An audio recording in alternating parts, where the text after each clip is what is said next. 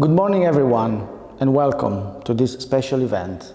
My name is Riccardo Balbo, and I'm the academic director of the IED network. This is a special occasion. We are welcoming the freshmen that are joining the big community. It's a special moment for us, and I'm sincerely happy to be here with you, not just because you are formally entering in a, in a new journey in a new, in a new school, but because you are entering in a community, the IED community. Uh, the sense of community that we have, it's very strong. It's, uh, it's not just because you have mates and you, and you participate to activities. It's, it's something more. It's like uh, belonging to a family. It's like um, entering in a journey that will change your life and most probably this journey will be the journey that will uh, escort you for the rest of your life. Maybe everyone is thinking, oh, they did this on the screen, they did uh, via web just because the pandemic. Uh, honestly, it's not that. Honestly, this is the first time that, maybe thanks to the pandemic, we decided to gather all the students in one room, obviously a virtual room. Can you imagine you are more than 10,000? Considering all the students um, enrolled in all our different schools. We have seven schools in Italy, three in, in Spain, just having uh, Bilbao joined the group. And, and we have two, two schools in Brazil. So all together uh, was impossible. Um, maybe you were expecting me to give you a welcoming uh, speech in Italy or in the rest of the world as all the other schools, but I'm not, I'm not scared for that. I mean, we are um, able to react because we know exactly where we want to go and with whom we want to go. Um, there is something more that I'd like to, to share with you. The fact that um, when we concentrate too much on negative things in our life, uh, and a pandemic, it's definitely something negative, we miss the point of thinking about the future. We, um, we can say that considering only the negative things and aspects in life, it's almost more dangerous than a pandemic. Reflect on this, please, because today, if you open a newspaper or if you listen to uh, uh, the news in the TV, mainly they are just talking about negative things. Almost as in the world, nothing good is happening. But there are lots of things that are very good and are still happening. So, thinking about negative things is in somehow an agent that can inhibit the ability to think about the future what is my idea of the future? The future is um, a positive thinking that uh, when meets the unexpected of the day by day present life has to adapt and become the present. So if you already start thinking about a negative future, you will, have, you will never have a present positive and livable. This was definitely unexpected uh, this is definitely unnormal for us. Uh, but did you ever ask what is normal? Um, evi evidently, challenges are now um, the, let's say, the material, the component, the ingredient where um, designers and students have to deal with in this gray area between the two wings. And I don't think, frankly, that uh, challenges are something negative. Honestly, it's the opposite. With challenges, we can grow individually, first of all, and globally as a community. Without challenges, we don't run, we don't grow. And normality is not the driver for the change. And so, what is the formula? Um, well, I think everyone has his own formula, and everyone should write, you one by one should write down and set your own formula. Of course, there are the, let's say, the starting kit, and this is something that we have to accept. Commitment, energy, enthusiasm, curiosity, work, hard work, and passion. Okay, that's the, for sure, this is the starting formula, but it's not enough. Yes, I, I suppose that many of you now are thinking about the fact that there is a missing ingredient in that. There is fortune, to be lucky. But I don't think so. I mean, I always was thinking that uh, better not to, to rely too much on being lucky. Sometimes it happens and it's better, but I'm not into that.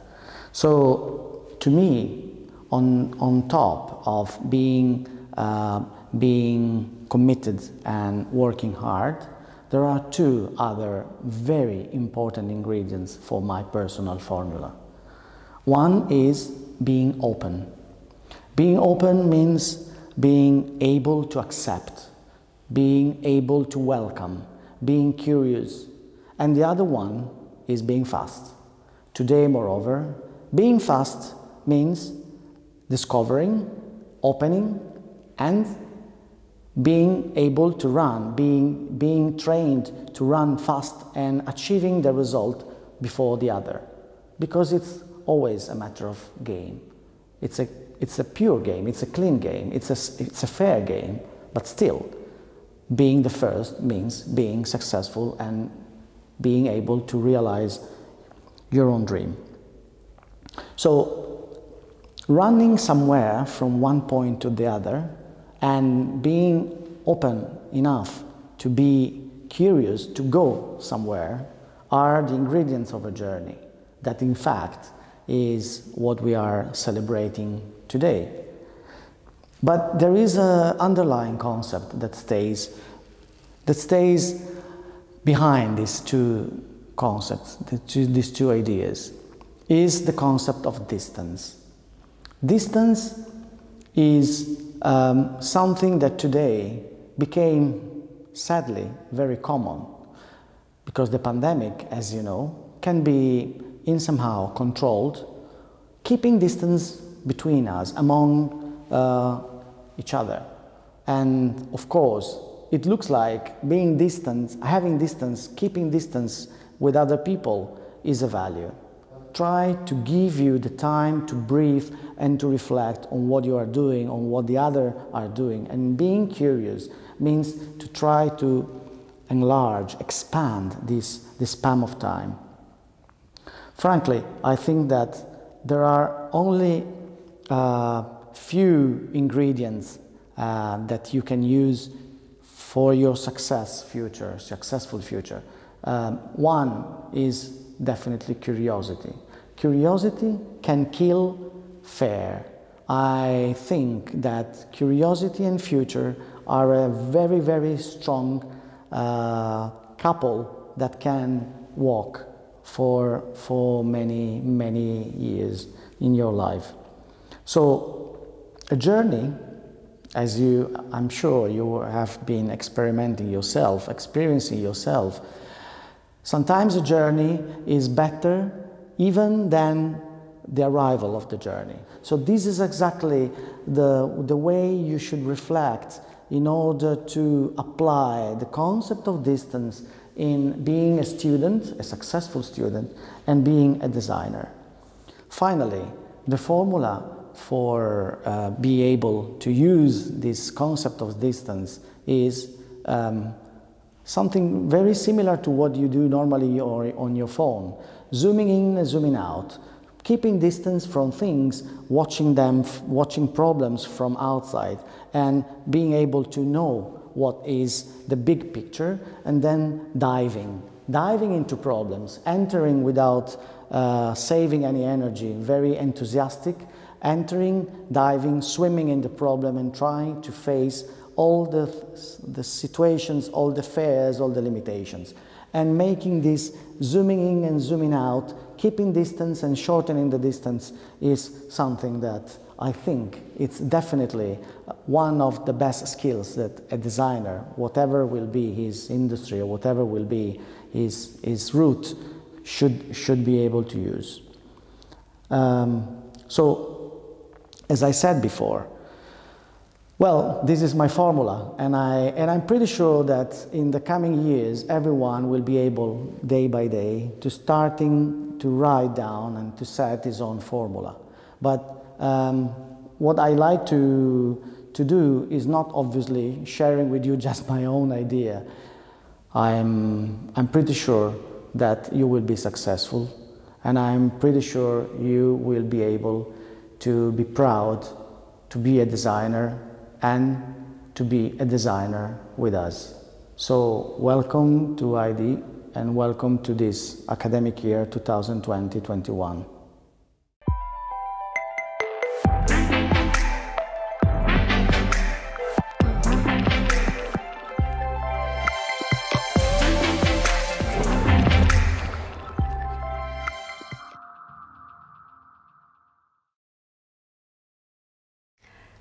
Hello, I'm delighted and honored to greet you today. A new year at IED is beginning in your lives, and this is probably the most unusual year you have experienced, just as you are setting out on a new life and setting habits and choices which will guide you for your future. The changes we are undergoing today are more numerous than I can possibly comprehend, and without wanting to state the obvious, we all feel the effects of the pandemic in very different ways. Unsurprisingly, our daily exchanges focus on what happened, on what is happening today, and what will happen tomorrow. But we don't know what the future will be. Nobody has a magic wand in these turbulent times of social and political upheaval, and I certainly don't know. But what I do know is that we all must forge ahead. We must not lose hope or give up or lose sight of the future. We must remain absolutely resilient and believe that something good and positive will occur and transform our lives. I cannot describe adequately enough the moment we are living today. It has affected negatively, to say the least, so many lives, far too many lives. But I tell myself that it will be a vital part of our collective emotional and psychic experience. It will shape me and all of us, for we are human beings in constant flux throughout every period of our lives. As an incubator of knowledge for innovation in the arts, design, fashion and communication, the IED maintains partnerships with many institutions around the world, including the Peggy Guggenheim Collection in Venice. The Peggy Guggenheim Collection is a museum whose educational mission is to promote the understanding and appreciation of art, architecture and other manifestations of visual culture, and is open for inspiration, exchange and collaboration.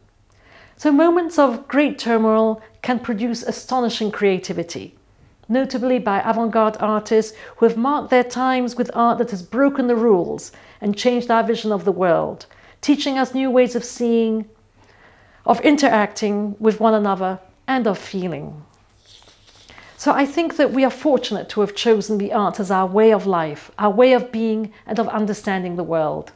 The arts offer us a whole realm of possibilities and insight that help us become creative and well-rounded individuals. Listen to yourself, follow your instincts, and engage with an open mind and an open heart, to quote Michelle Obama. Make sure you do what you like and what you feel is right for you. Explore, be curious, never stop asking questions, and do not forget that success and failure are really quite subjective matters, and you are the ones only who can decide what that means. So take this moment of separation and distance as yes, a moment of trial and great challenge, but also one of growth, experience, and becoming. After all, we can now rely on sophisticated technology which is part of your DNA in a way that was never part of mine. There will always be surprises around the corner, so try to live your lives as richly as you can, against all odds and despite the many setbacks and changes you are living. Remember that uncertainty can be inspiring and compel you to think outside the box and reinvent yourself constantly. Change is always present. Life changes, must change and move forward. Nothing is static and even in times of tragedy, and because of times of tragedy, change must happen. So I wish you a most productive and enriching year and the years to come, and deeply hope that your generation will seize this moment to help transform and improve the world in a way that is just, respectful, tolerant, and forward thinking. Thank you very much.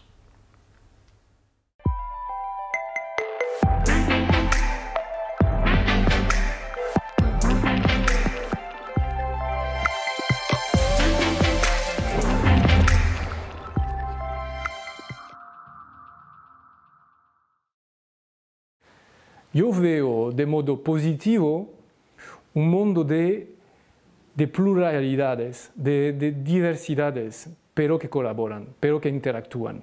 El papel del diseñador, tal que lo veo, es del inventor, es del, de lo que, está, que tiene que ser al centro de, de la, del, del cuestionamiento social que sea porque asusta, que sea porque disgusta o gusta o anima a repetir, a copiar, el único modo que tenemos, por el bien o el mal, que aprender es copiar.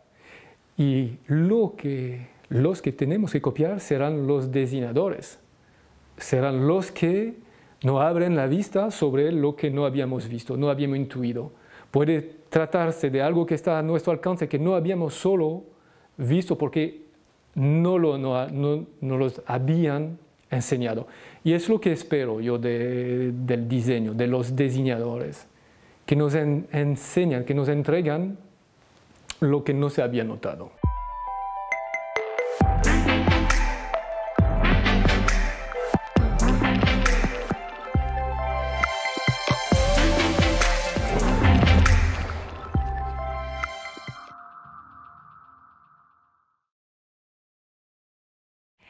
Sono Martina Caironi, piacere per chi non mi conoscesse e sono qui a darvi il benvenuto eh, per questo inizio anno accademico, eh, quindi sono qui al campo d'atletica e c'è un motivo perché appunto è, è il mio ufficio, benvenuti nel mio ufficio, sono un'atleta paralimpica, corro con eh, protesi e salto.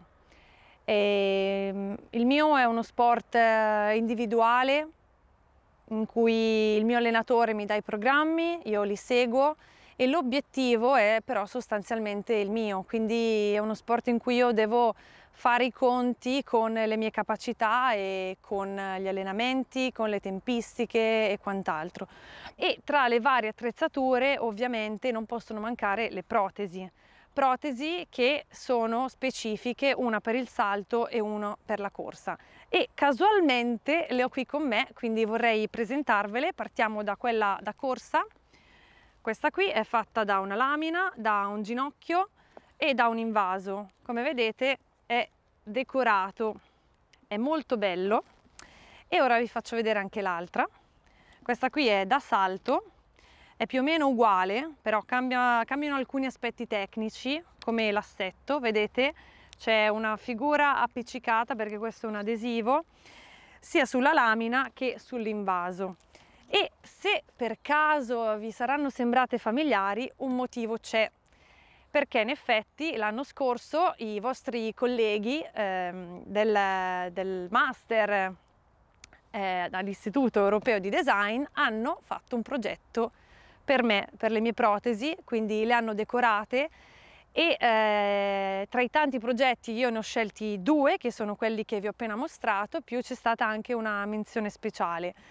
Quindi per me adesso eh, praticamente io vado in giro con due gioiellini di design perché sono colorate, riescono a esprimere quello che io sono e quindi sono contentissima di, di questo progetto ovviamente hanno anche la loro eh, utilità perché eh, come vi dicevo sono gli strumenti con cui io faccio tutto quello che devo fare, allenamenti e gare. Non mi sono mai vergognata eh, di come il mio corpo era diventato, di quello che mi era successo perché in fondo non era colpa mia, eh, non volevo neanche vittimizzarmi, ma volevo prendere in mano la situazione, prendere la mia vita e farne qualcosa di bello. E eh, una volta ripresa la normalità non mi sono accontentata delle, delle piccole cose. Però innanzitutto guardandomi allo specchio la prima volta per me è stato un po' uno shock nel senso che sono tornata a casa dall'ospedale, mi guardo e, e vedo che manca un pezzo, che non crescerà più e questa è la situazione, quindi era da accettare il prima possibile, volendo sempre qualcosa in più, come vi dicevo, cioè mi sono resa conto che la testa c'era, le braccia c'erano, la gamba c'era intera e l'altra ce n'era solo un pezzettino, però sarebbe potuta sicuramente andare peggio, avrei potuto morire, sarei potuta morire lì eh, in quell'incidente. Quindi da quella cosa lì ho ripreso, da quello che era rimasto, ho ripreso quello che c'era per farne qualcosa di bello e come vi dicevo non mi sono accontentata del tornare a camminare e del tornare a riprendere quelle attività normali. E quest'anno, l'anno dell'incertezza, come sapete sia Olimpiadi che Paralimpiadi sono state rimandate, eh, quindi anche noi stiamo qui a prepararci sperando che ci possa essere questo grande obiettivo che è eh, Tokyo 2021, non più 2020 ma 2021. E effettivamente avere di nuovo un obiettivo è per me e per tutti gli atleti, ma penso anche per voi, fondamentale perché senza uno scopo nella vita ci si sente un po' persi e credo che ve ne siate accorti durante il lockdown quando hanno chiuso tutto e all'improvviso eh, è come se la nostra identità si fosse un po' congelata. Io non mi sono mai seduta sui grandi risultati che ho raggiunto, anzi sono stati dei punti di arrivo e di ripartenza, degli stimoli per fare sempre meglio e avrei potuto sicuramente dire buono sono arrivata alla medaglia olimpica, grazie, arrivederci. E invece no, perché è proprio da lì che bisogna partire per alzare sempre di più l'asticella. Quindi io trovo anche dei parallelismi con quella che sarà poi la vostra carriera accademica, nel vostro percorso di studi. Secondo me ehm, bisogna sempre tenere l'obiettivo ben, focalizza ben focalizzato, cioè sapere quello che si vuole e poi cercare gli strumenti giusti per raggiungerlo. Questo è quasi ovvio, no? Però quando poi ci sei dentro, che trovi delle difficoltà, delle sfide, magari non ti senti all'altezza, devi fare i conti comunque con la tua personalità, con quello che sei e con una serie di fattori che possono essere anche magari di distrazione. Per raggiungerli io non solo mi sono prefissata l'obiettivo, ma giorno per giorno li ho costruiti questi obiettivi, quindi passo per passo, senza avere fretta, curando i dettagli Mm, anche con calma, ok? Bisogna prendersi tempo per le cose, bisogna dedicare energie, attenzione, pensare anche poi con un occhio verso il futuro. Poi voi che fate progettazione, eh, ovviamente eh, progettate e avete sicuramente uno sguardo verso il futuro e verso quello che sarà la vostra creazione. E cosa posso dirvi? Mm, concentrazione è fondamentale. Io quando mi alleno sono molto concentrata e mi arrabbio anche quando ci sono delle persone magari che mi vengono a parlare, ma soprattutto poi durante la gara, che nel vostro caso magari può essere un esame o può essere la consegna di un lavoro.